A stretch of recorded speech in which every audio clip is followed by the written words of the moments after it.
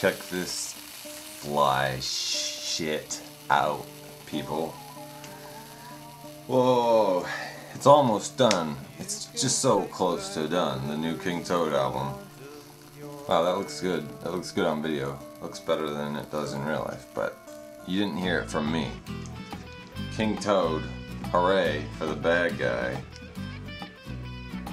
Uh, the longest King Toad album ever, 25 tracks. Um, yep. This is a mock-up. It's not quite the finished album, but you know, it almost, almost is. Might as well be just about. So,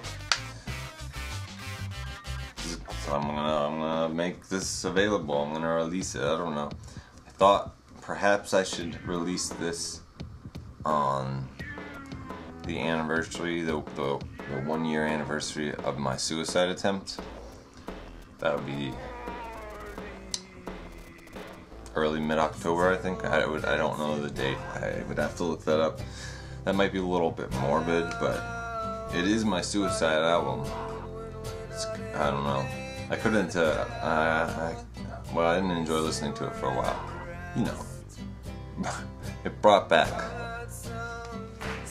memories, painful memories. They call it, I think. No, it's alright now. I, I, I, I like listening to it now. It's not like it's not like it's all about suicide. There's some references. Anyway, yeah, this will be coming out within, within a couple of. Uh, damn, I should never say. I should never give myself any kind of deadline or com- commit to any time frame because it just it just leads to lies and disappointment. Uh, yeah, I haven't, I haven't, I haven't been working on remastering Why Am I So Romantic. That was going well, and then I got frustrated and I stopped working on it when it stopped going well. But this album, so close to done. It's gonna be here in October. Uh, I'm gonna say that. I'm gonna confidently commit, confidently commit to this album coming to you in October. There's some, yeah, it's gonna be perfect timing. There's a couple of autumnal, autumnal songs, autumn themed songs, autumn themed songs, and some. Um, know. I'll probably put. Uh, I'll probably release. I don't know. I'll probably throw together a music video or two or whatever, to, you know, for songs. I don't know. I don't know how to promote things. I never did. I hate promoting things.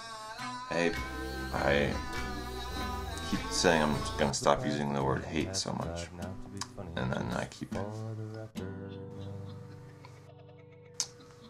using it just as much. And how the days just passed by, it wasn't funny, I know, cause you said so.